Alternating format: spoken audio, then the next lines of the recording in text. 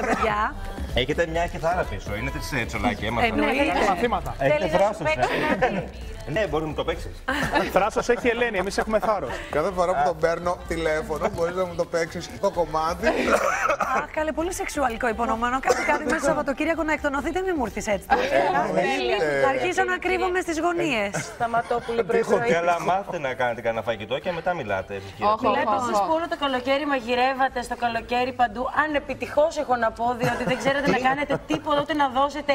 Πώς λέει Αυγό ο, βραστό. ο μάγειρας, δώσε μου το, Πιπέρι. το κρεμμύδι, ας πούμε, και δεν Μάθε ξέρει να πρώτα το τα υλικά πιάσει. και μετά κάνεις. Λοιπόν, λοιπόν, λοιπόν. Την κακία. Ορίστε Ελένη, μας, τον πήρες μας από τα κουβαλείς μούτρα τώρα. του. Καλώς Δεν τον είμαστε. πήρα. Σταμάτα.